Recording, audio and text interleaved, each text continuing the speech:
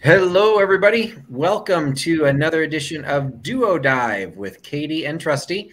I'm Trusty, or Patrick, whichever you prefer, and it is Wednesday night, 9:30 p.m., and we are live with a duo dive. This time, just the two of us doing a duo dive with Katie and her collection of Tobacciana slash tobacco tins. So uh, thanks for joining. I will give a little bit of a precursor as we get started because it's also a little bit of a warning.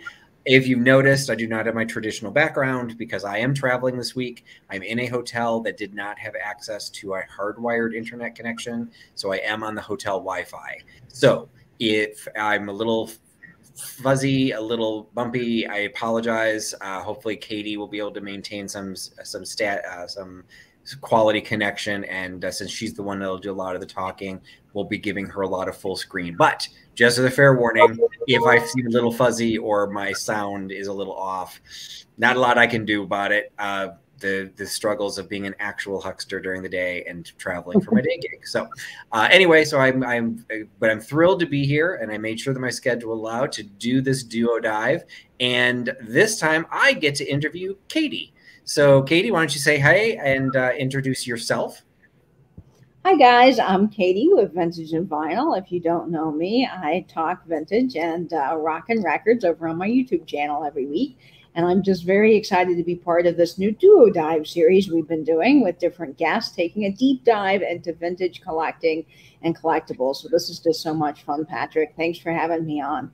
Oh, I'm thrilled to thrilled to have you. And uh, she, one of our earlier duo dives, Katie actually uh, dove into my collection of punch boards. So this time I get to kind of reverse the tables and get to do a little bit of an investigation into the uh, her tobacco tin collection. So do a couple quick hellos, uh, but we're going to focus on the interviews. We've got uh, Sam, stud at the stash, is in the chat tonight. We've got. Hi, Sam. Michelle has joined us, Emancipation 300. We've got aloha greetings from Bren in Hawaii. Texas Hi, coming in with Carrie from Austin. Sherry Edwards, proud American representing the Buckeye State. Hey, Delbert. And let's see, uh, I think Sharon, Love and Circles, Suzu's. Peterson coming in from the great state of Minnesota and uh, hopefully, and everyone, Peterson's giving me some nice little shout outs that uh, I think Peterson's seen your collection before. So, and some of us have seen a little bit of your collection. Uh, I think, uh, I think when you did your, um, hey, Teofane coming in, Teofane coming in from Canada, Tim, Lucinda. Um, when you did your bunker tour, I think you had some of the tobacco tins that were part of your collection. Katie collects a lot of different things, and you, you have the great great Coca Cola tray collection behind you, so you've always got a great little backdrop for you. Um, but this is dipping into what, and admittedly, an area of the collecting and an area of tins that I see a lot. But I'm really excited by this tonight because I don't know a lot about tobacco tins, and even I'll give a little precursor normally when I do these, whether we you know we're just doing it the two of us or we have a guest, I'll always try and have at least one piece that I can show and just you know learn a little bit about it. Uh, this one was a case where I went looking for some tobacco tins and I really got confused on what was out there and what exactly was quote unquote collectible. And so I didn't pick anything up. So I have to admit, I'm coming into this one a little bit blind, but that much more interested uh, to talk to hear what Katie has to say. So we're going to kind of turn things over to Katie, and first we'll just start with the basic question of, you know, you've got a lot of rusty, crusty, and dusty in your collections, but how did tobacco tins become one of your areas of focus? Well, one of the things that I love is advertising. That is my main love, and most of my collections are pretty much advertising. I just love the graphics on these things. I love the history of the companies. I love everything related to old advertising because, in my opinion, our packaging just pales in comparison today uh, to what they had back in the day. So I love collecting all that authentic, original advertising. And tobacco tins were one that I just felt were so cool because the graphics were amazing. And like Patrick, I discovered a video on uh, tobacco tins online uh, through the Brass Armadillo. They have the Denver location has a YouTube channel, and uh, the guy was showing the tins book, which I have here, and I'll talk about this in a little bit. Antique tins, and the first page he opened up to was tobacco tins. And I thought, oh my gosh, the graphics on these are fantastic. I must start a collection of them. So that's really how I got into it. But I love all things advertising. So fantastic. Sorry, I was actually trying to find the website of of the of the Brass Armadillo. I forgot to put myself on mute. Uh, so yes, it's a, the Brass Armadillo is a chain and the, but the video channel is the one of uh, the Denver location. And I want to say he, I, I, was trying to find the name of it. It was, it was either just vintage tins or it was advertising tins because it wasn't specific to tobacco. Because I know he had coffee tins. It's other things, well. yeah. So yeah, so he did a broader uh, collection. But yes, it was a right nice primer on all tins. But yes, the book that Katie showed, he does go into reference. The book is what is it about 10, 15 years old now? Yes, this came out in 1990. Now there are three oh, okay. volumes of this book, and I actually own all three, and all three are different. So I highly recommend if you like uh, advertising and antique tins, this is an amazing series. There's some typewriter tins in here, a lot of baking powder, uh, some prophylactic tins, uh, your your basic coffee tins, and then tobacco. Because coffee and tobacco really are the two number one uh, areas of tin collecting in the world. As far as tins go, people love their coffee and they love their tobacco. So these books have a lot of that, um, and they're really just great. They're by Fred Dodge, not sponsored by him. I just happen to really love the book, and it's got some great eye candy, and you can pick them up on thrift books for like four or five bucks a piece. So they're really a great asset. Now you said that they changed each. How often did each edition come out? After a couple of years, or were they yearly? Um, that is a good question. This first one came out in 1999, and I can look at the publication date on this one here. It came out in, let's see, this came out, oh, they all came out in 1999, apparently. So it was released, like, I guess one after another, but they came in volumes. Okay. So then you said that each one's a little bit different. Does each one focus on a different category or are all categories in there? They just included different examples in each one? They're different examples of each one. Now, the okay. third book is the only one, to my knowledge, that has the typewriter ribbon tins, and it's a relatively small section.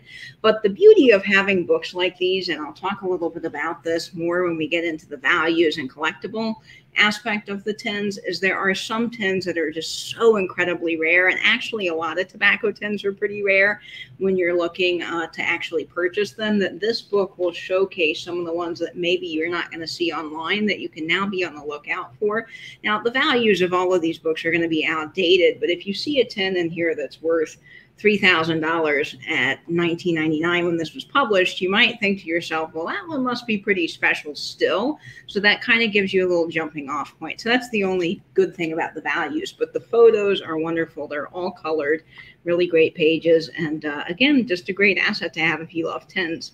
Absolutely. And I love the books for that reason. One, you do see examples you may not be able to find, although the internet helps a lot.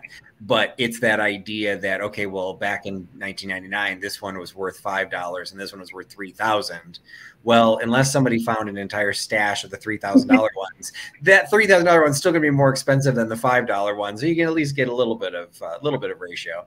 So exactly. as you, as you collected uh, started your collection which came first? Did you already have the book because of the typewriter tins or did you already did you start looking collecting the tobacco tins and then found the books to back them up well, actually, I found the video first because I was okay. enthralled with the Brass Armadillo. Uh, I follow, I found their channel after I found Vinny on collecting the Coca-Cola trays, and then I just went down a whole rabbit hole of watching their videos. And uh, I saw the owner. I think it's the owner is the guy that does most of their videos, unless they're having special guest panels and so forth.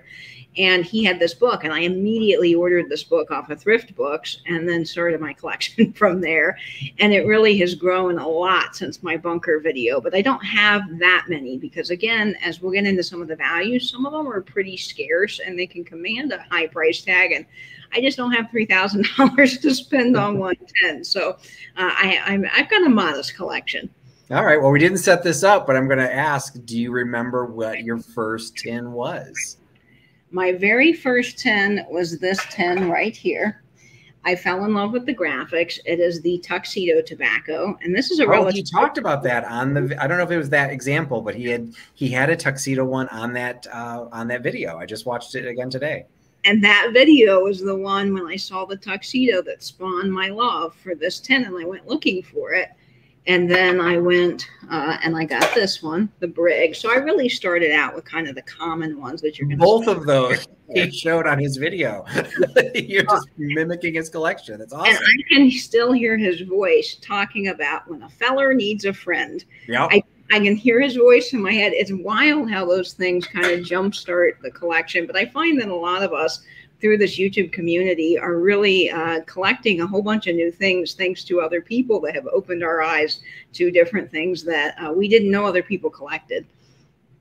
And uh, Antique Nomad, uh, say George, I threw a comment in there that I'm sure you'll probably get to, but I do know, well, from his presentation and just from what I've run across, is that they are different sizes. And what I understand is the ones that you just showed, that Briggs and that uh, tuxedo one, were considered. Was it the vertical pocket? Is that one what, what that was considered? Yeah, vertical pocket tins. Were yeah. there other pocket tins? I only heard them refer him reference the vertical pocket, um, but are there are other sizes, shapes, and then sizes too, right?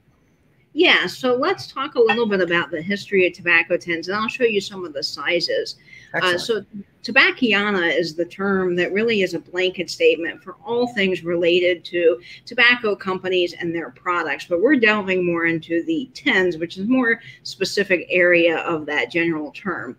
Now, tobacco started uh, in 1850. That was really the first tobacco smoking, and people would roll uh, the tobacco into old newspaper print. But that really was the jumping off point for it to become commercialized and the invention of offset lithography really started this whole wonderful world of commercialized tobacco tins.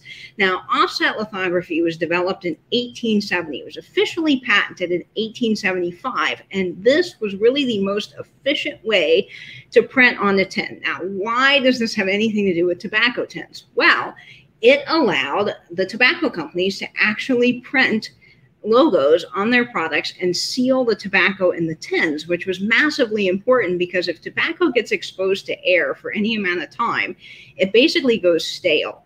So this was really, really important. One, because it allowed the uh, tobacco to stay safe and sealed and protected.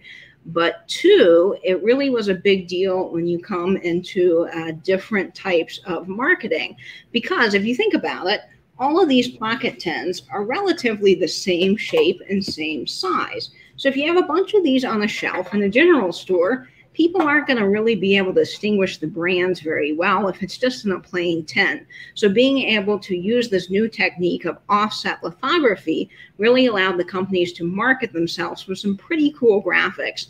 Now, offset lithography basically means it's allowing, it's a process that's allowing ink to go onto a cardboard cylinder and then offset onto a tin. So it's a whole new method of being able to print graphics onto these really cool tins, which was the whole start of the commercialized Tobacciana.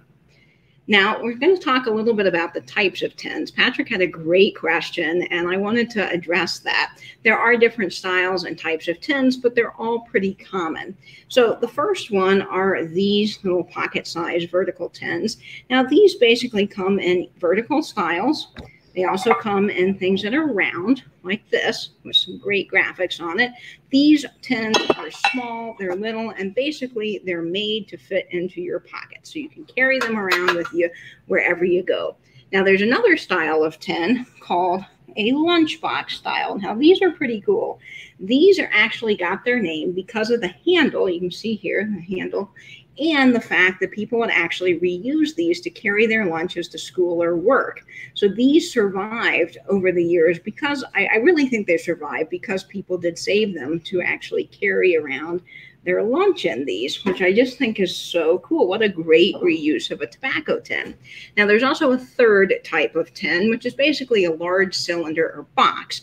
And these tins were used for the bulk selling of tobacco. So this one is Central Union It's got a hinged lid and it's relatively large. This one is Penn's quality tobacco and it is a large style square tin as well. So these would have been in the general stores with more of your bulk items uh, and mass product than you would go into this again, and I apologize, but just I wanted to clarify the lunchbox style looked almost bigger than the one you showed with the that you listed as uh, being able to available for bulk. So what was the lunchbox style? Was that also for bulk or was that for home use? This was also for for bulk too. That's my understanding of it but people would reuse them. And I'm assuming, and I don't know this 100%, there's still a little bit of question in that what kind of tobacco was in here and how basically it was sold. Um, but I'm assuming that people would probably buy a larger canister of it to take home and then they would just reuse the tin. That is my best guess on that, but I'm not 100% sure. Now, for the bulk, because did you also have a Union Leader bulk tin? You, that one was a Union Leader lunchbox. Did you was one of the bulk tins a Union Leader? I actually have a central uh, union. Oh, so Central Union. Okay, that's interesting. This um, is the United States Tobacco Company, and this. So they were okay. So they were both. Because one of the questions that I came across, and one of the reasons I didn't end up picking up an example for tonight, was in some cases I was finding tins that looked like they once held the actual cigarettes or cigars and I it made me think of like the Dutch Masters, like but the bigger ones, like some of them were boxes. So they were still okay. So that's actually a cigarette case. So they were even those two big bulk style were still for the full, um, the full tobacco. Was then the idea kind of like shopping at Costco or Sam's Club? You bought the bulk for the house, and then you just filled your little pocket one as you went. No, I believe the pocket ones were sold full of tobacco. So you okay. could either buy like a bigger size or a pocket size, I believe. Um, there's still some question on that. You know, when you go down a whole rabbit hole of researching tins, you'll find that there's a lot of different information and there's not a lot of clarity sometimes on some of these things because the history just really isn't always there. Kara's asking a question. I think you commented on it, but I cut you off. So get a clarification. So she's asking, so the graphics drive the price, not the brand. Yes, so we're going to get into the price points on some of these, but yeah, it's really all about uh, several things the rarity, the graphics, and the condition. Those are really what's going to drive the price. I don't know of anyone specifically collecting specific brands. I mean, when you get into things like, um, 60s and 70s cigarettes, like you might have the Camel. People might all want like cool brand cigarettes. That's kind of different. But when you get into some of these antique tins, people are really collecting them because the graphics are just so amazing. And when you get into the graphics, you'll notice that they used a lot of common themes. Street themes were very big. Navy, anything to do with ships and Navy and sailors were really, really popular. And then there was also flowers and birds. I mean, just the variety of graphics are pretty amazing. And you can get into cross collectability with that. So if you have someone like myself that loves anything with uh, playing cards on it, they might be interested in this high card 10. Or if you have someone that's interested in airplanes, they might want this Hi-Plane tobacco 10. And if they're interested, say, in maybe something with an eagle on it, then you've got your union leader. So there's also different cross collectabilities as well.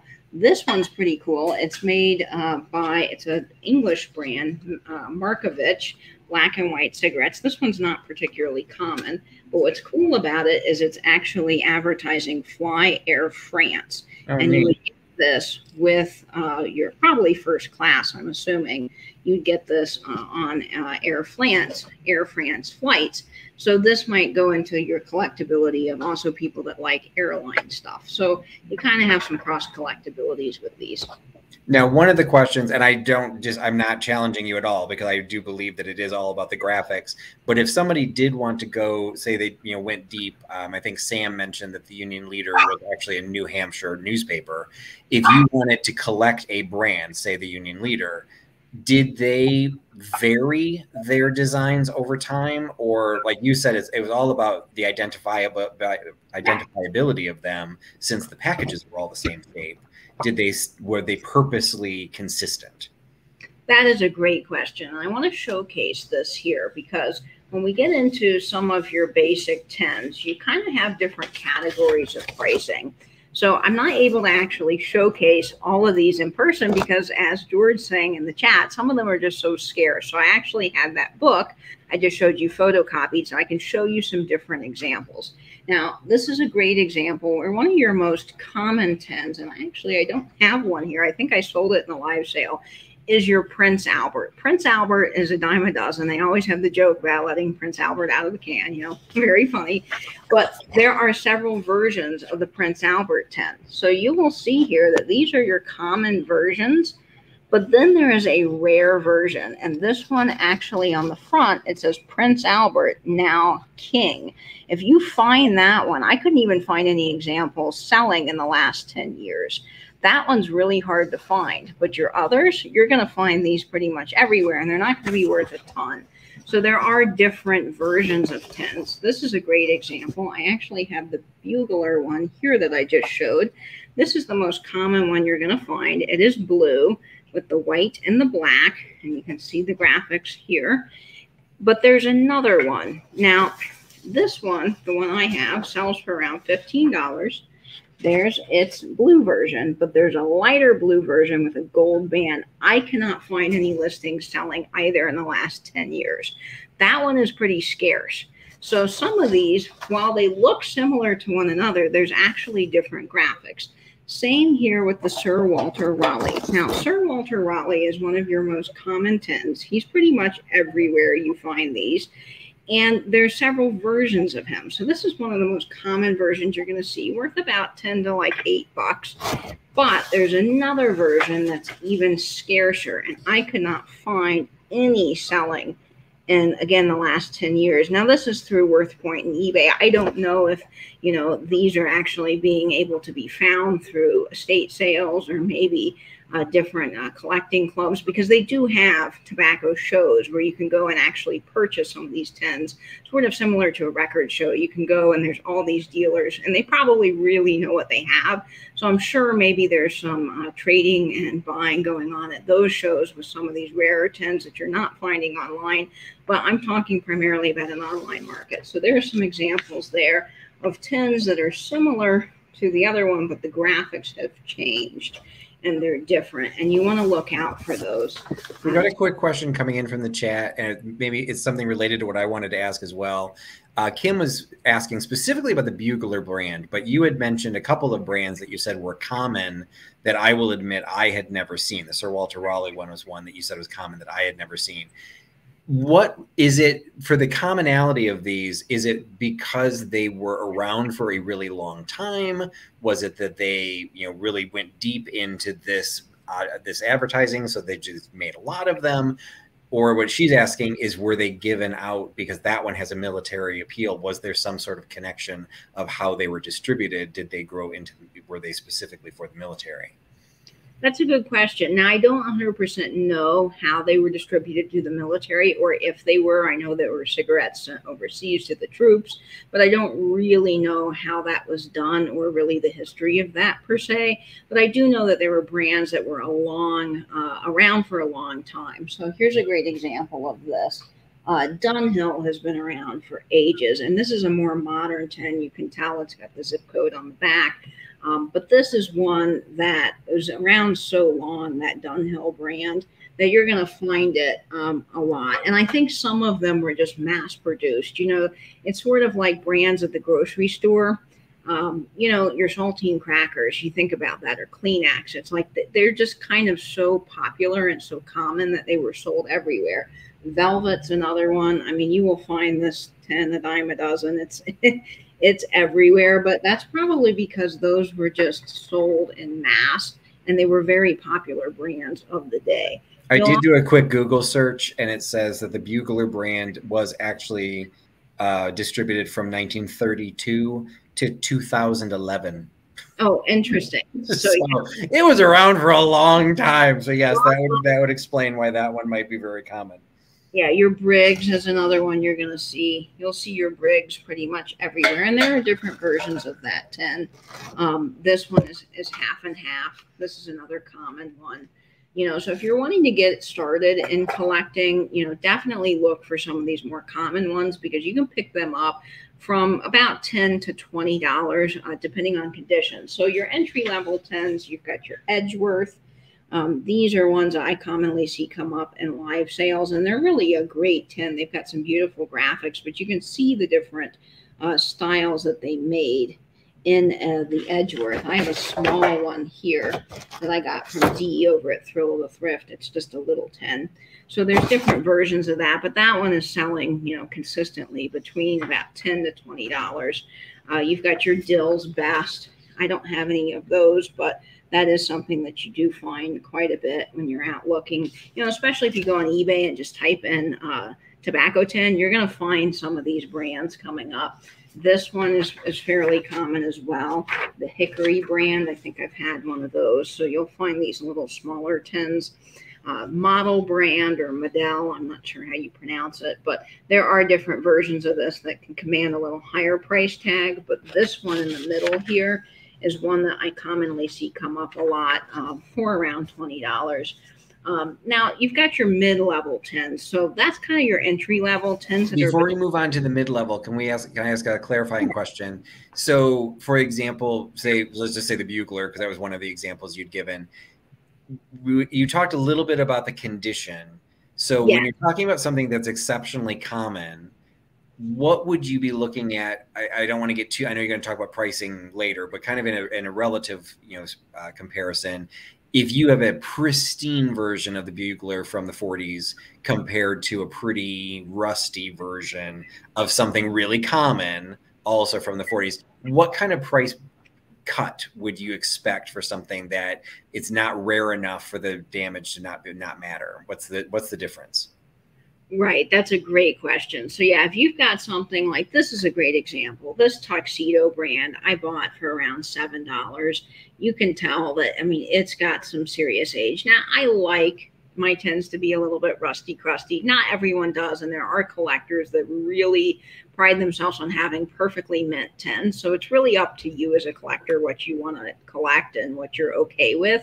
But I find that if you go down a couple of grades in tens, you can usually get things at a pretty good price. So this one's a great example. This one's pretty common. The tuxedo's pretty much everywhere. If this were mint, I would probably be able to get at least $20 for it because it's a really nice tin with good graphics. But in this condition, you're only looking at about seven or eight dollars. So okay. condition is really, really important, but there's different philosophies on condition. And I'm one of the philosophies that don't generally match up with the rest of the collecting world uh, when it comes to advertising. I find that a lot of advertising is just in general, especially with tobacco tins, uh, like this Hi-Plane tin is one that's that's pretty tough to locate. Not at, this one's not as tough as the other version I'll show in just a minute, but I'm still not willing to spend, you know, close to $80 on something like this. So I was lucky enough to get this for only $20. So this is in pretty poor condition, but the graphics are still there. And to me, as long as I can see the graphics, I'm pretty happy with the 10 overall. So it just really does depend on what you want to collect. Okay, great. Now, there are different levels, as I talked about, in price points, and your more common ones are going to sell for around 10 to $20 but your mid levels are going to go between 25 and 80. So I've got some examples here that I don't have in my own personal collection that are pretty cool. I'm hoping to add these soon. Uh, one of them that you see a lot of is this Kentucky Club. Now, this is relatively common. However, I'm finding online at least, now I'm talking about an online market here, folks, that this one is becoming a little harder to find in good condition. So I'm now seeing it sell for around $35 to $50 in good condition, depending on the one that you have. And the lighter blue one I just saw sold for around $50 in mint condition. And there aren't a lot of them in mint condition anymore. So that's something that's kind of new, but that I would consider mid level. Um, a couple of other mid level tins that I have here include the Lucky Strikes. Now, there are some Lucky Strikes that are a little bit harder to locate. Uh, when you get into Lucky Strike Pocket tin, that one is going to be a little bit more difficult than, say, these. These little cigarette cases are pretty easy to find. Uh, for around $50 or less online, depending on condition. Um, so that's one of your mid-level tins. Now you get into high level. Now these are tins primarily that people like myself that's really into Tobacciana and collecting tins are going to be looking for because they know they exist and they want them, but they're going to cost hundreds, if not thousands of dollars. Uh, so this is a high end uh, collecting area. So if you get into this echelon of collecting, um, you know, be prepared to spend some money. Now, I, I forgot to mention in the mid-level tins, there are a, a called Holiday, and I actually just ordered this one. I was able to get it for about $20, but in good condition, you'll find this now selling for around 40. That's just my experience with eBay. Now, those are relatively common, but again, I'm starting to see them become less common in good condition. Um, but the holiday ones are pretty cool. Now, when you get into the really expensive area of collecting, you get into tins like Hi-Plane. And I love, love, love the graphics on these. Now, you'll notice there are three different versions. Your most common version here is this airplane here. That is the one that I just showed. It's in pretty rough shape, but the graphics are still really, really good, in my opinion, on this. I mean, it's got some rust, but you can see the airplane well. The second version is this one here. Now, that's the middle one. And then the third version is the one on the other side that everyone is looking for. This one is what they call the four engine airplane because you can see there's four engines on that airplane. The last one of that that I could find that sold, sold September 28th in 2018 for $449. The middle one, which is the two engine airplane, sold June 16th, 2019 for $81. And the first one that I just showed you here, this little guy, sold June 2nd, 2021 for only $59 in an auction. So it really wasn't uh, that high because, again, auctions I kind of find a bit of an anomaly because you might not have people watching them that are actually interested. But this Hi-Plane is pretty collectible. So you want to be on the lookout for these Hi-Planes because they're they're quite popular and they're well known within the uh, area of tobacco tins. Now, obviously, based on the price, that puts them at the high level. What would you say is is garnering that price? Was it the company just not around for very long? Is it because of that cross collectability? Because of the plane? What what do you think is driving those the the demand for that price? I think it's really desirability, you know, and the fact that a lot of these are not around, not many of them were made. The Hi-Plane, I just don't think a lot of them were around. You know, they're not like Lucky Strike or some of your other brands that were advertised like crazy that everybody wanted. Um, I, I, just don't think that there were a lot of them made. But also, I'm finding, and I don't know that this is 100% true, but this is just what I'm seeing when I'm actually shopping for these myself, is I'm finding that these pocket tins are actually not some of the common ones, but these pocket tins tend to be a little bit harder to find. So you can find sometimes the round cylinder cans or like your your bigger cans here, the square cans, or even your lunchbox style in that particular brand more so than you can find the pocket tins. And in this book, when you read the Antiques 10 book, you'll find that a lot of the pocket tins back in 1990 are listed still at pretty high values compared to some of those other tins. So I typically find that the pocket tins, for some reason, are a little bit harder to find. Uh, and I like the pocket tins I really, those are my favorite uh, ones to collect because they're little and you can have a bunch of them and stack them Which actually drives me to one of the questions that uh, Kara from Kitschy Corner had asked is how do you display your tins? That's a great question. So what I love about these is that you can just stack them on top of each other like this.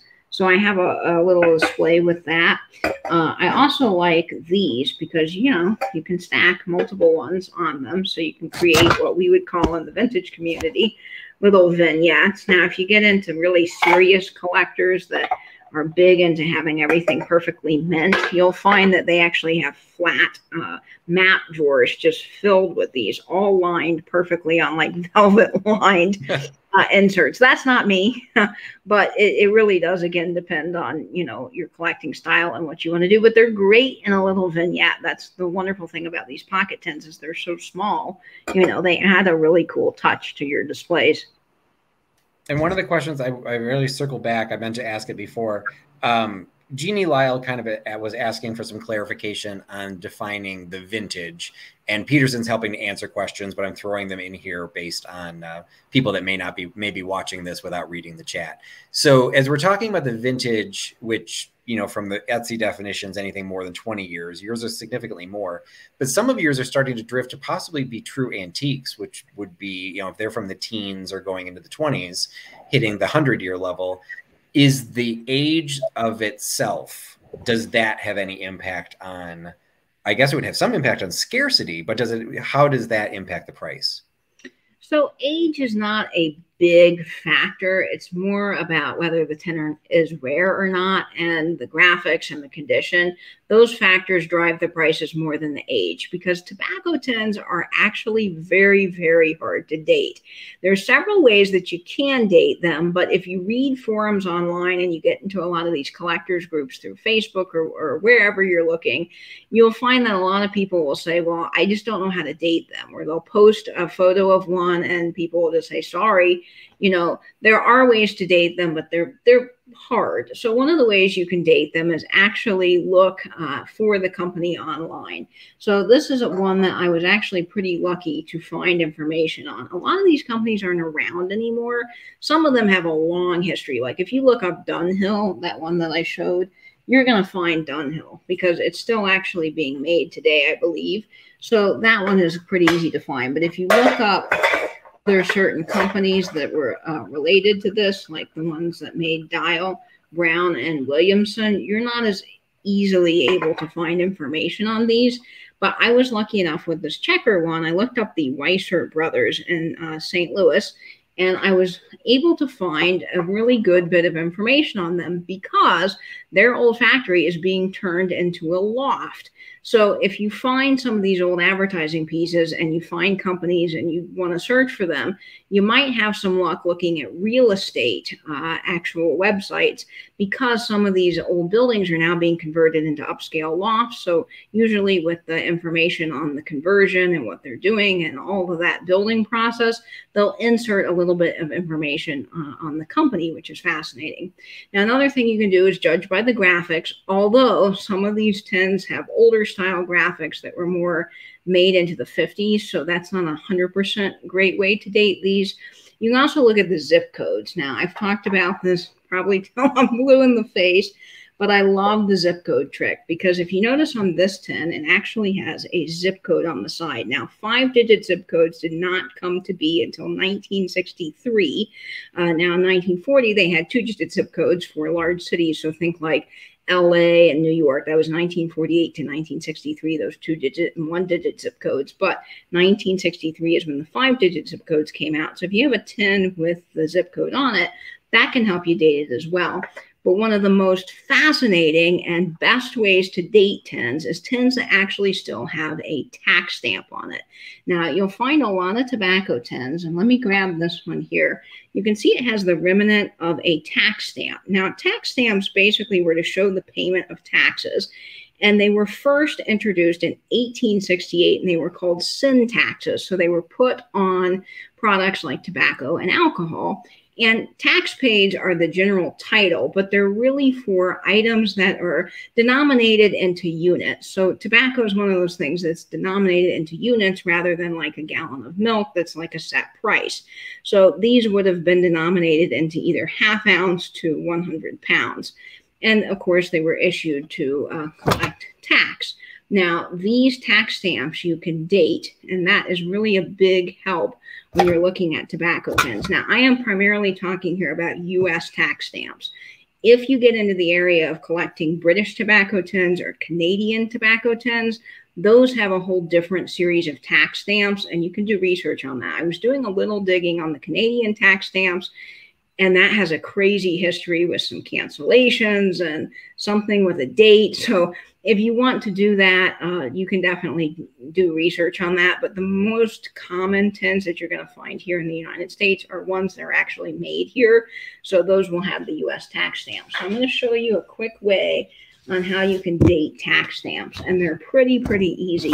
So before 1930, all tax stamps were actually listed with the date. So that's pretty easy.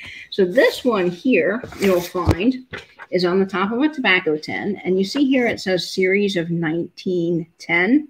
Well, that means that this tax stamp was stamped in 1910. This is the 1910 series.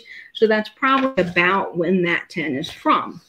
This one, however, has series 109. Now, in 1930, that's a key date to remember here. 1930 is when they started series 100 with the letter A. So A is the name of that series, and it started with 100. So in 1930, you'll find tax stamps that have series 100, and you'll see that this one is series 109. So you can basically do the math on that. So 1930, 100, 1931, 101, 1940 would be 110. And then in 1920, uh, in 1955, they used the number 125, and that was basically the end of that series of tax stamps. So when you find tax stamps with numbers starting from 100 to 125, you know it's between 1930 and 1955. And that's really the best way I have found to date these tins. Now, unfortunately, like you saw with this one, if the tins were used, a lot of the tax stamps are gone. So, the, so it's not a foolproof method either it's it's hard. You know, dating tobacco tins is like trying to find a needle in a haystack sometimes, but it's a fun rabbit hole to go down. So you can definitely do some research on that if you're interested. But the tax stamps are pretty cool, and that goes in an area too of cross collectability because you have people that are interested in collecting tax stamps. There's whole websites dedicated to these tax stamps that people are actually collecting, and so they might be interested in some of these old tins that have earlier tax stamps. And you said that it they existed consistently from 1868. So that uh, that that type of a so that that style of a label is that dates all the way back to 1868. 1868, wow. and they will be the ones from 1868 will have the date on them, but they're going to be this blue color. Now okay, I don't. So there are some there are some differences that even if you have a remnant, you might be able to. Right, you'll notice yeah, this one here, you'll see the the graphics on it are slightly different. So this one's the one that's dated 1910. Do you know what color that one was?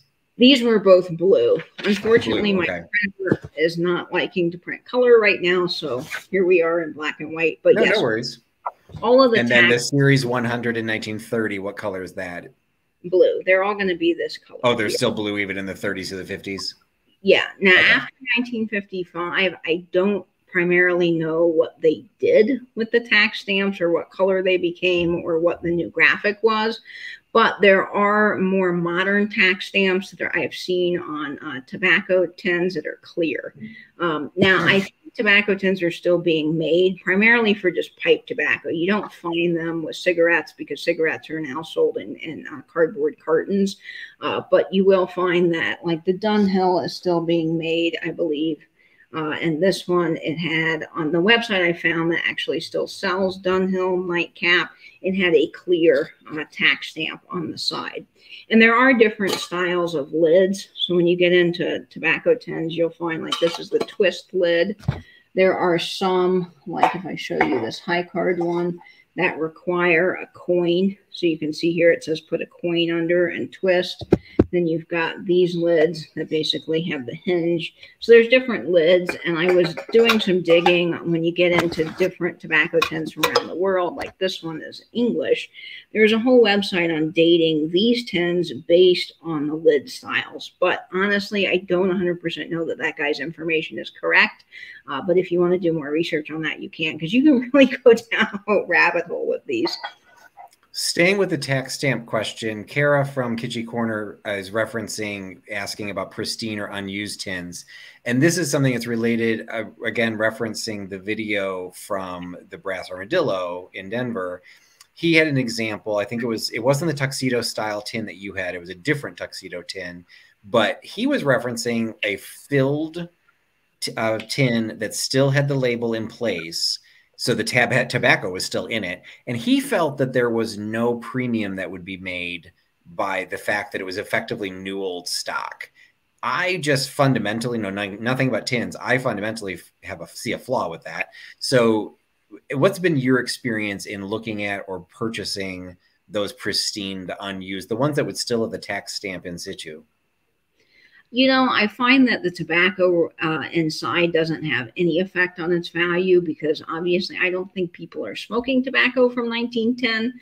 So I don't think that that really matters. But I do think the tax stamp matters. That is one thing that I kind of disagree with the gentleman. Nothing wrong with his philosophy uh, because there is several websites that will uh, do a kind of a counter argument to what I think. But I think having the tax stamp does matter. One, because there are people that collect the tax stamps, and two, it is a good way to date tens.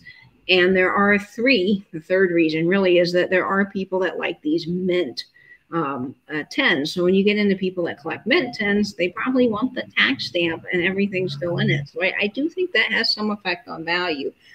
I don't have any mint mint tens. Uh, the closest to mint I would have, and this is where they were talking about the grades um, you basically have a grading system like one through 10, basically, and one being really, really poor and 10 being mint. So it's kind of the same way that you would grade vinyl or basically grade any type of physical media or physical objects. You can grade them by condition. And so you can see this one is pretty clean. Now there are some scratches on it and there's a little dent to the lid where the coin was was inserted, but it's pretty good overall in condition. Compared Do you remember where you got that one, Katie? I got this one from you, Patrick. Yes, you did. I had an entire.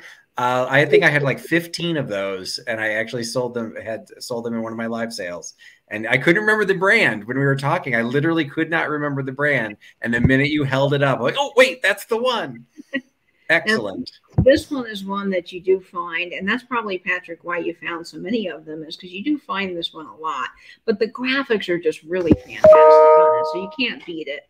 But here's an example, and I wanted to show this one because when you talk about grade, you look at this one and you think, wow, that's a junker 10. Who wants this? Well, this 10 is incredibly hard to find. The checker 10 is near impossible. And so even in this condition, I mean, and you can see this thing is roached on the back, like the rust. You even got a hole in the side. This one is so hard to find that this one in this condition is still worth around $50 because people want the checker tobacco. So I do think condition matters when you're talking about collectability, because as I mentioned, there are people that like mint tens, but when you get into tens that are just so hard to find, people are willing to go down in value or down in grade really just to actually own the 10. And so in my case, I was lucky enough to find this for $25. Now, I'll show you the other uh, checker ones so that you guys can be on the lookout for these. I don't know that they're ever really going to come up but for sale. But if you do find them, they can be um, pretty interesting. So this checker 10, I, I put it here. I, I printed a bunch of these to showcase. Here's the checker 10. Now there's two versions of this checker 10. There is that one with the gold. And then there is this one here. Now, if you look at the recent sold values, and again, this is for an online market, in March 12th of 2021, this checker 10 sold for $325. And in September 6th of 2007, it sold for $355. Now, these tens were in almost mint shape when they were sold, but there are others that you will find selling for several hundred, even in pretty poor condition online. Now, this is the more common uh, checker one that you will see. This one is black and white checker, but people are really after this one because, in my opinion, the graphics on this one are just far superior than this one. I mean, this one's still cool, but I mean, look at that checkerboard pattern. That is pretty amazing. So when you talk condition, there are 10s that kind of slide under the radar a little bit or get the pass because they're just so hard to find. There's another couple of really hard to find ones I wanted to highlight too, because if you found these in poor condition, you could still probably get a pretty good penny for them. This one is Corktown. Now, this goes into cross collectability too, because you've got people that like, of course, all things St. Patrick's Day, four leaf clovers, so they might be looking for that one, on top of the people that collect tobacco tins. That's got some really cool graphics on it. Now, on January 21st of 2016, it sold for $799. And in January 21st of 2021, in pretty poor condition. It sold for $395. And guys, the graphics were almost gone off of that 10 on the one that I saw that sold for $395. Now, there is a couple of 10s that are really cool to be on the lookout for because they actually did put famous sports players on some of the tobacco 10s. And this one is one of the most sought after 10s and it is reproduced. Now, the reproduction ones that I have seen of this particular 10 are pretty easy to spot because they're painted. Some guy has done a really terrible job, no offense to him, painting them to make it look like this. It's very crudely painted, and uh, I think he's taking like common half and half tens and sloppily painting over them graphic. And you'll notice right away that it's them because the paint job is really poor and it says it's a reproduction. I've never seen any of the other tins reproduced. Now, when you get into some of the other tobacco, uh, tobacco related products like signs and that kind of thing, those are reproduced. But I've never seen, other than that one example of this tin I'm going to show, I've never seen these uh, pocket style ones reproduced. The images I've seen, like printed on postcards and things like that, uh, but I've never seen them actually, you know, counterfeited. This one is the one I'm talking about. This is Bambino. Of course, our great Bambino there, Babe Ruth. And this one sold in September 13th, the only listing I could find of it, uh, September 13th of 2021 for $1,499. So my point here is that some of these can get pretty expensive, and this is the upper echelon of collecting for sure. But that Bambino Pocket 10 is going for some pretty good money and it's pretty collectible. And another one that you're going to find uh, that would be something that I would pick up if I could get it in a pretty uh, rough shape, uh, just kind of offset its cost, is this Times Square one. I adore the graphics on this. I've been hunting for this forever, and I've just never seen it come up for a reasonable price, even in poor condition. This one here is Times Square. And of course, now you've got that collectability of people also like New York. The last one of this sold of July 4th, uh, 2021 for $190. Uh, and then in uh, April of uh, 2021, it sold for $185. So that one's pretty cool. And then you get into certain tens that are just so scarce that people will pay crazy amounts for them. This is a great example of that. This one here is Taxi. Now, what's cool about this one is it actually has a different style of opening on the lid, and it's just got some really great graphics, and that's getting into your antique tens. This one last sold November 9th of 2020 for $1,500. And in April 21st of 2019, it sold for a whopping $3,050. Wow. Uh, that's kind of some of your more rare and scarce tens. And this is, again, higher end of collecting. But again, if you find those and they're in poor shape, you can probably still get some decent money because people like me will be willing to pay maybe a hundred dollars just to own the 10, you know, if that makes any sense. But you've got other common 10s that you'll find, like Between the Acts is pretty common, but it's got some great graphics. And then this one I'm still on the hunt for. And this is what I was talking about with the different shapes. This is Big Ben. Now, this one's really hard to find in the pocket 10 style. Now, you can get the round cylinders. They don't come up as often as they used to, but the round cylinders you can find for about $50 with that same graphic on it. But if you want the pocket 10, you're going to pay close to $400 for that 10. The last one that sold July 8th of 2020 sold for $395. So that is uh, a 10 that's on my wish list as well. But ones that uh, I'm willing to go uh, down a couple of grades to find. So basically, you have grades one through 10, and you know, 10 being mint and one being not so great. Um, so sometimes, you know, if you find tins like this, they're in pretty good shape, but they might have some dents and dings. I would probably rate this uh, to be about a five, maybe on the, the collecting scale. Uh, it still displays really, really nicely, but there are, as you can see, some dents and uh, misshapen uh, lid there but it's got great graphics. And this is one that's kind of your mid-range uh, collector's tin. You're not going to find this one too often, but it does come up for sale. And I think I paid about $35 for this tin. But it's dial, a real turn, turn to smoke, which is fantastic. And then you've got, like I talked about, some of your British tins, which we don't find a lot here, but I do see them listed. You'll have to pay international shipping.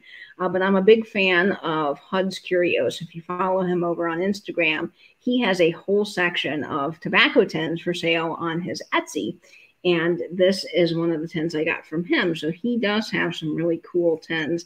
This one is an English tin. It's Cope's High Card and look at the graphics on that just to die for. I also bought this one from him, the Marcovitch black and white. And this one you will see, but what makes this one extra special is it's got the Air France marking in the top. Not all of them have this. So this one uh, definitely commanded a little bit higher price tag. I probably paid, well, he gave me a good deal because I'm, I'm really good friends with Peter, but I think I paid about uh, $40 for this one, which is really good for its its uh, price, I think. And then you get into these bigger containers, as I mentioned. This one commonly gets mislabeled. Uh, People think that it's actually selling pin nibs. It's not selling pin nibs. It's actually uh, selling chewing tobacco. So this one's one where, you know, you see the graphics and you kind of think, well, what does that have to do with tobacco? It really doesn't. But as I mentioned in the beginning of this duo dive, really the graphics helped set these apart on shelves. It made the product stand out amongst other products. And the cooler the graphics, the more like you, likely you are to get noticed. So this one has some pretty cool graphics, but this is one that you can find pretty commonly for around 25 to $40, depending on condition. I probably paid close to 19 bucks for this 10. Um, and it's got some great graphics on the, the side and the front. Um, and it's just very cool. And then the lunchbox style ones, this one uh, is in pretty horrible shape. You can see the graphics are coming off of it on the side. There's definitely a lot of rust, tons of wear on the top and on the bottom. It is not particularly clean on the inside either. This one's got a big rust spot in the bottom. So this one probably usually would sell for around $50 this one in this condition, you're probably likely going to get around 15 to 20 because it's just in such poor shape. But again, someone looking to get into the area of tobacco tins, that's a pretty reasonable purchase. Wow, that was a, that was a very thorough breakdown.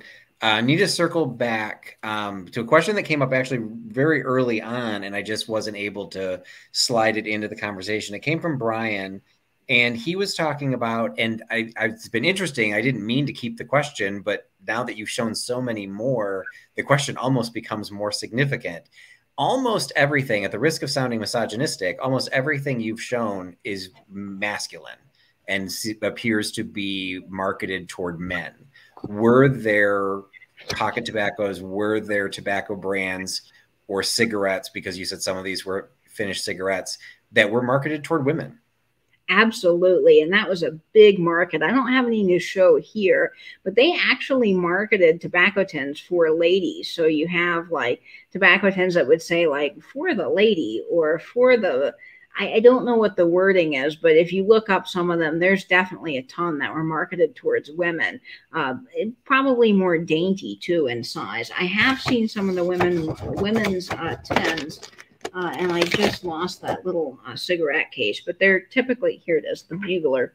Um, I've seen a lot of them, uh, the lady cigarettes in like this smaller size um, case, and they did market them towards women. They also marketed tobacco tins to a very high uh, population, a very uh, wealthy population. So some of the tobacco, actually, the cigarettes that were sold were actually gold tipped and that was if you if you were buying those kinds of cigarettes you had some money. So they did market some of these to the wealthy some of them to the ladies and some of them to the men.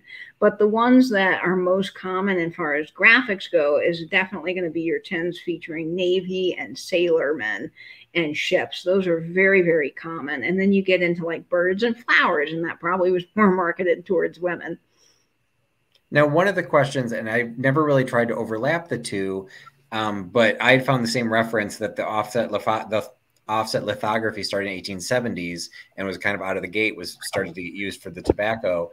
But the uh, there was another deep dive that I had done, you know, several months back that talked about cigarette cards, so a different aspect of tobacciana, and there is a subset of, of cigarette cards which were done in paper or cardboard packaging. The the cards that for those who missed that one, the cards themselves were introduced in the paper packaging to help keep the packages rigid. So I never connected that at the same type time that those paper uh, uh, cigarette packages were available, these tin packages would have been available too. So were the tin more expensive? Or was there a different? You just said it was maybe more to a wealthy market. Was the tobacco cards were those geared for a lower market, and then the metal uh, wrapped ones to keep them, like you said, they'd keep them fresher longer. Was that really geared for a luxury market? You know, that's an interesting question. I hadn't really thought about that until now, but I do think that maybe some of the cardboard packaging might have been for your average everyday person. And the idea of collecting those cigarette cards was something that was geared more, as you talked about, to the masses, something that people actually enjoyed doing. You could actually buy books for them.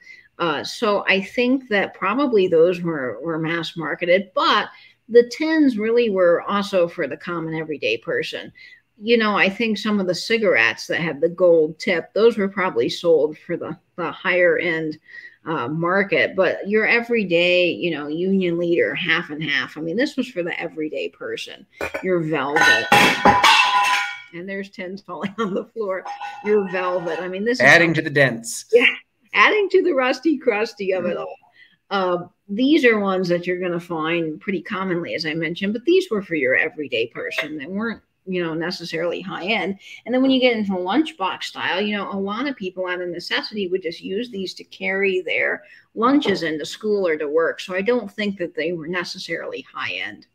But again there's lots of research to be done on these and there's all kinds of information out there. So i i'm not the authority but that would be my guess so as you add to your collection, you've shown a couple of your unicorns and your uh, white whales that you're looking to what when you if unless you find you know the five dollar uh, Times Square one, what would you say are you focusing on building your collection with right now? What is your preferred either shape, style, brand, reference? Well, I'm really focusing on picking up a lot of these pocket tins. I absolutely love them. I think they are fantastic because they're so small and they're little. They're great for an apartment when you don't have a lot of room. And so I'm really focusing on those at the moment, but I'm focusing on that mid level uh, collecting to high end collecting. I'm not as interested in some of the more common ones that you find. Like, I actually don't have a Prince Albert in my collection. The graphics are cool, but he's so common that he's not one that I particularly want. I like the idea, same with typewriter tins, of finding ones that are just so hard to find and actually owning it, the ones that have the coolest graphics. So that Times Square one is one that I'm on the lookout for. I'm on the lookout. Obviously, if I could find the taxi one, that would be amazing, but I don't think I ever will at three thousand dollars.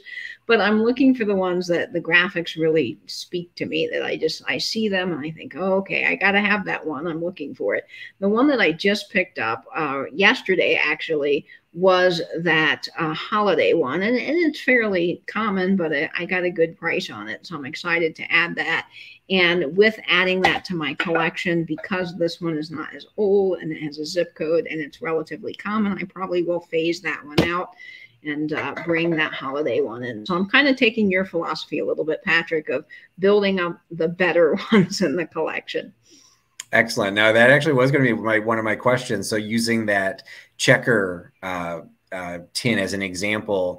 I mean, it's beautiful graphic, but like you said, yours is a fairly low uh, grade one.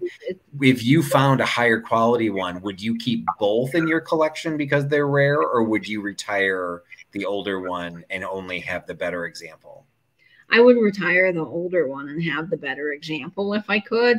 But again, these are ones that they're so hard to find. And at a couple hundred, I'm just not willing to spend a hundred, a couple hundred at least on one tin. Now, if I could find the Times Square one for a hundred dollars, I might be willing to buy that because it is just so hard to get, and it's one I really want. I probably would spend about a hundred, but that would be my cap it's hard to justify that for one little tin. But like George was saying earlier, you know, in the chat, he's got collectors willing to pay several thousand for them. So, you know, it, it just depends on uh, your budget and what you're willing to collect and what you want in your collection. But if you're getting started in these, really the best thing to do is start picking up some of your common ones because they have cool graphics too, and they're going to be relatively inexpensive and I think that's a great way to end. And I would and I would I would concur with that because again, I did try and find you know one or two just to have as in my own possession during this interview, and I did find a few, and I just got confused. But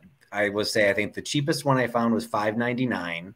Uh, and it was one that actually had it would, would have held the cigarette. So now I'm wondering if that was the female, uh, maybe that was for the ladies or something along those lines. I probably should have gotten it. Um, and then I saw the bigger ones, like you said, the the bigger pieces. And actually, I had a video drop, and I know that Katie, you had seen it, and it just it didn't come up in our conversation, but it's the getting into the larger. I don't know what shape you would call that, but more like the coffee can shape. Yeah do you remember the video I showed? I think it dropped a, a week or two ago, and it was the boar's head yes. tobacco that was in a decorative container.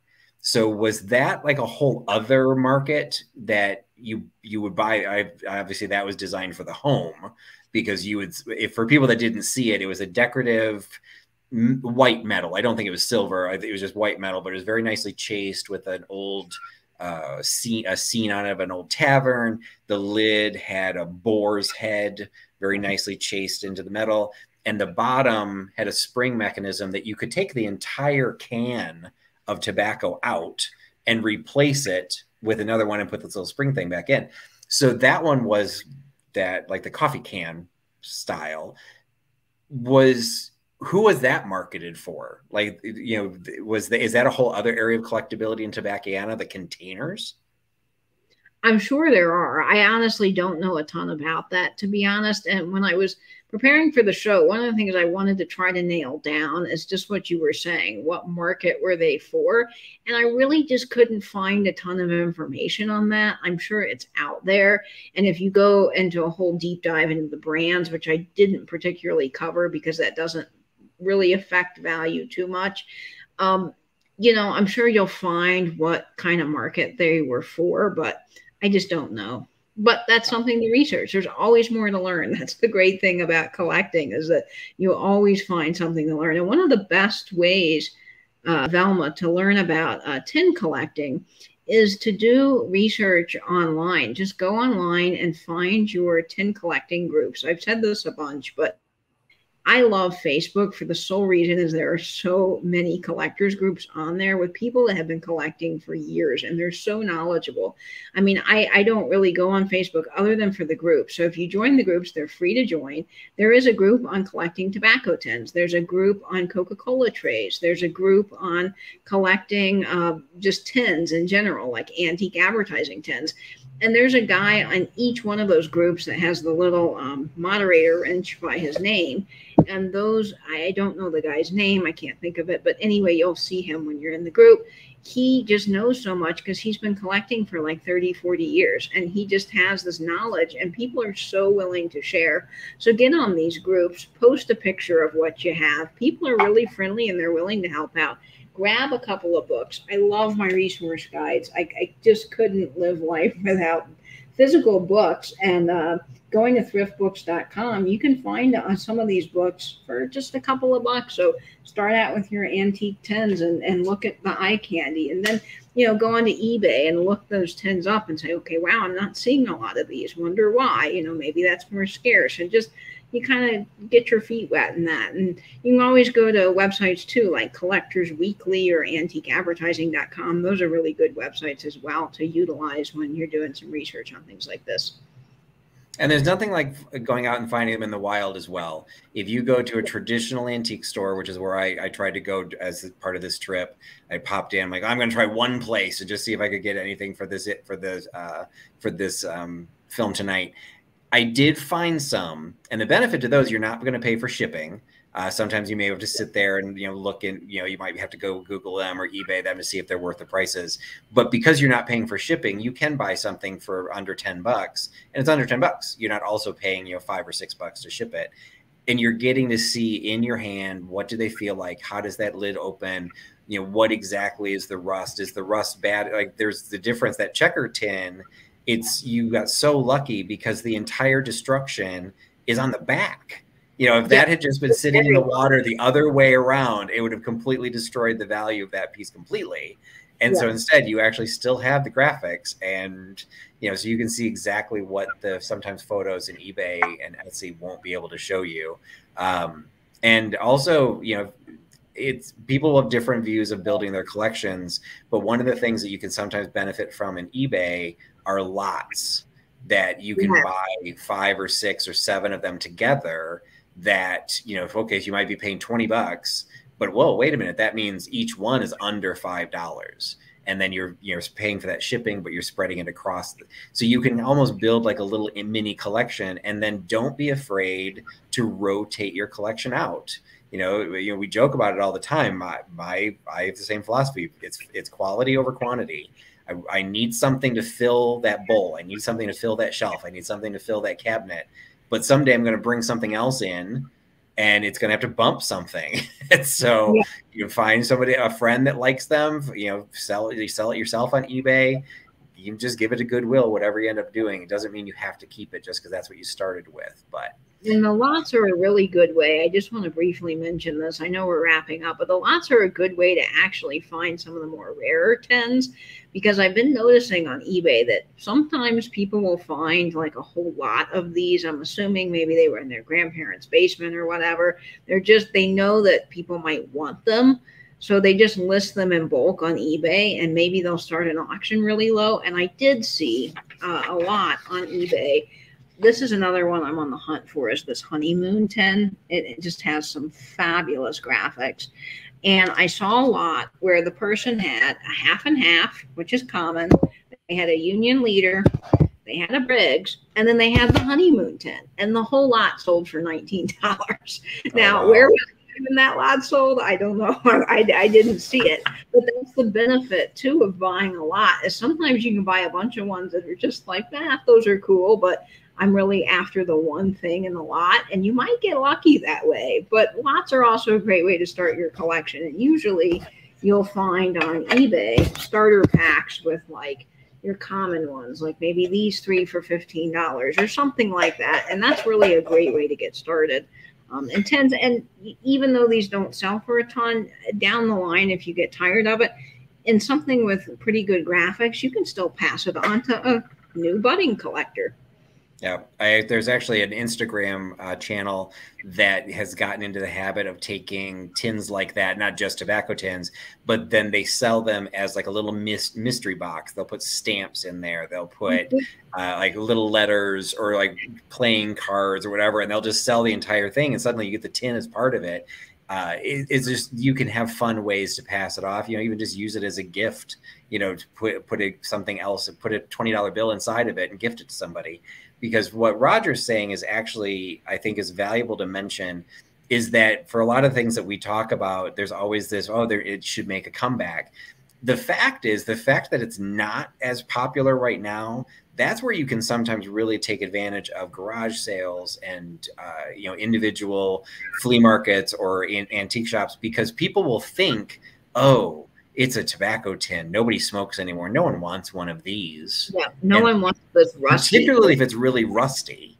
You know, if somebody came across that Times Square tin, you know, at the bottom of a, a junk pile, and they see that it's rusted out, you know, it's possible they'll just throw it away. Or if they go to sell it, they may sell it for 10 bucks, five or 10 bucks because they think there's no value because people don't think tobacco tobacciana is popular. And yes, it affects value. You know, ashtrays are hard to sell, but if you're building up an, a Las a vintage Las Vegas collection, that's a fantastic way to do it. They all had all had ashtrays, and you can get them relatively inexpensively because it's not super popular. So it's in some cases that's the again re-emphasizing not that we have anything to do with the brass armadillo, but you know sharing that video again. He has a whole great collection of all kinds of videos, but he did the one on tins was just all tins and so you can figure out, well, what do you want to collect? Do you want to collect the tins that are a certain shape, like what what Katie's starting to focus on, or do you want to do a color because you're decorating a room that's mostly blue, so you want blue, you know, you want the blue tins. There's all different ways to do it, and it's an inexpensive hobby to get into, and it's an inexpensive collection to build. And 100% what Roger said all the fun is in the hunt. Is in the hunt. Nothing yeah. wrong with finding a lot here and there and starting a collection because that's one. You know, you listen to design shows or you know different things, and people say, "Oh, you want to do it over time? It takes time to build your collection." I like that instant collection. though. Yeah, if you got a bookshelf that you need to fill, you can't fill it over seven years. At some point, the bookshelf needs Yeah. to be filled, and it might get filled with inferior pieces that show that you're building that collection. And then it's I actually have fun when I finally get that a new piece that requires me to bump somebody. You know, sorry, like hey, sorry that, that piece. I try not to give my my items feelings, uh, but you know they're out because it may have been my first one, whatever. It's not worthy of building into the collection that I want to build. So it's the fun is in the hunt and in building the collection that you want to build, not that somebody else thinks you should build. Yeah, and, and that's the thing. When you get into um, advertising, there is a lot of different theories and methods to collecting it. And I find that there is that camp that, like I talked about, loves things to be mint. And, you know, that's a really expensive hobby to get. Advertising in general, let me just say, is an expensive hobby to get into. Very, very expensive. But when you get into the mint, um, echelon of collecting, you're talking about really, really, really expensive. And so there are people that are kind of snobby about, oh, that has to be perfectly mint or I won't put it in my collection. But there's a whole bunch of us that wish to collect it because the graphics are cool or for whatever reason. And now we can get it at a pretty reasonable price because it's got some rust. And I personally, I've said this a bunch, but I love Rusty Crusty because it's really got some history and some character and some age. And I like that the piece has had a life. It's told a story. You know, if I have something that's perfectly mint, when it comes to advertising, it's like, well, did anyone ever use that? Like, you know, and so that's just kind of my philosophy. But don't let people dictate how you want to start your collection or shame you for having something that's not meant because you liked it. Like, I mean, maybe you just start collecting these because you like the graphics, and that's just perfectly fine. You know, you don't have to have reasons or like perfectly meant collections either. So if you if you see people's really impressive collections, it's great uh, inspiration to add to your collection and build, but don't feel like you have to be at that level. And what Patrick was saying is true about the, the rusty tins. I, I did want to mention that because a lot of people find old oil cans or old typewriter tins or some of these, and they don't really know what their values are. And they think, oh, no one wants this. So I'll just list it at like four bucks. Those are where you're going to get the deals, folks. Yeah, always keep your eyes peeled, and in the online, put in some uh, put in some notifications. And this, don't be afraid. You know, put your mask on and go out in the world and actually see what you can run across. Because you know, garage sale season may be coming to an end in certain parts of the country, and there's gonna be people that just want to get rid of stuff. And you're on a much smaller marketplace there, so that's where you're gonna that's where you're gonna get the the really fun successes. Look in barns, you know, the old Oh, barn. yeah. You know, people's grandparents or great grandparents who passed away. That's where you're going to find some of the stuff just sitting on shelves. And if you start your own collection as a result of this duo dive, make sure you post it on Instagram and tag us so that we can see that. And love uh, we we love we love getting other people addicted to the stuff that we love. So appreciate you uh, your time again, Katie. Uh, so this was a, a, a, a, introspective duo dive where it was just the two of us, but it was fun seeing more of that collection because I'd only really seen like little snippets of it. So it was fun to see the more examples from your collection, and so you you know so much about the stuff that you collect. So I so I'm so glad that you were able to share that with us, and appreciate all of you uh, hanging out with us tonight. And hope you all learned a few things. And maybe if you don't already, maybe you'll want to start your own collection. So what do you got coming up on your channel, Katie? So I got some fun things coming up. I just dropped a video today of my ephemera bowl challenge I'm issuing for Halloween. So if you're interested in participating in that, definitely check out that video. And that was all thanks to Patrick because he had that brilliant idea. Uh, so check out that video. And then this Sunday, I will be hosting the next Tales from the Triptych with Patrick and Nate. And I will be talking all about vintage vinyl and how you identify vintage vinyl and different pressings. So you want to tune in that. That's going to be a really fascinating show. Fantastic. And uh, for those of you who are not familiar with my channel, I have my live sales are every Thursday night. So tomorrow night, I will still be in this same hotel room uh, with this lovely art behind me. Uh, I will have my live sale. It will be a short one uh, because it was what I grabbed to sell on my way out the door. Uh, but I will do that at 8 p.m. Eastern on this channel. And uh, next week we will have another duo dive. And next week I I will again be hosting next week.